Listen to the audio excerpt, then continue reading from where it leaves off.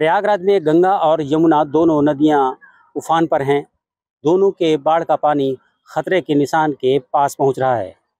आप देख सकते हैं, प्रयागराज शहर का ये दारागंज का इलाका है, जिसमें बड़ी संख्या में जो मकान हैं, वो जलमग्न हो गए हैं। जो इन मकानों में रहने वाले लोग हैं, वो या तो अपना घर छोड़कर अपने पड़ोसियों के यहाँ शिफ्ट हो गए हैं, या फिर दूसरी मंजिल में इन्होंने अपना आशियाना बना लिया है। दारागंज का इलाका है, खासकर जो नागवासुकी मंदिर है, उसके पास की ये बस्ती है, जिसमें पूरी तरीके से पानी भरा हुआ है, जलमग्न हो चुका है।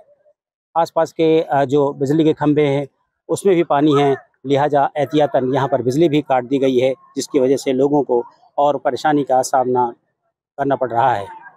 आपको बता दें कि प्रयागराज ज़िले के सौ से अधिक गाँव ऐसे हैं, जहाँ पर पानी घुस चुका है बाढ़ का, और जिसकी वजह से मुख्य संपर्क जो मार्ग हैं वो कट गए हैं और बहुत सारे जो लोग हैं वो ज़िला प्रशासन की तरफ़ से जो सात बड़े राहत शिविर बनाए गए हैं, वहाँ पर शिफ्ट हैं। वहाँ पर उनको जो बुनियादी चीज़ें हैं वो उपलब्ध कराई जा रही हैं, राहत सामग्री दी जा रही है ये प्रयागराज शहर का छोटा बघाड़ा इलाका है, जिसमें बड़ी तादाद में जो गंगा का पानी है, उन लोगों के घरों तक पहुँच गया है, घुस गया है।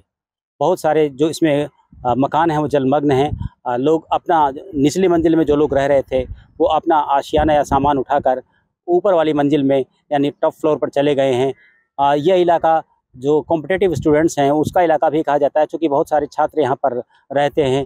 उन छात्रों ने भी अपना जो पढ़ने लिखने का सामान और सारी जो घर गृहस्थी है, वो सब फ़र्स्ट फ्लोर या सेकंड फ्लोर में उठाकर शिफ्ट कर ली है, ताकि उनकी पढ़ाई में नुकसान ना हो। दारागंज का ये दूसरा छोर है, आप देख सकते हैं। ये भी बस्ती है पूरी और दशा समेत घाट का इलाका है, जिसमें बड़ी तादाद में जो बस्ती बनी हुई थी, उसके मकान पूरी तरह जलमग्न हो चुके हैं। निचले वाली जो मंजिल है, वहाँ पर पूरी तरीके से पानी भर चुका है और जो लोग यहाँ पर दुकान लगाते थे, वो अपनी दुकानों का सामान वगैरह ऊपर शिफ्ट कर चुके हैं छतों में। छतों में लोग मौजूद हैं और वहीं उनकी ज़िंदगी चल रही है। शहर के करीब आधा दर्जन से अधिक मोहल्ले हैं जो इससे प्रभावित हुए हैं।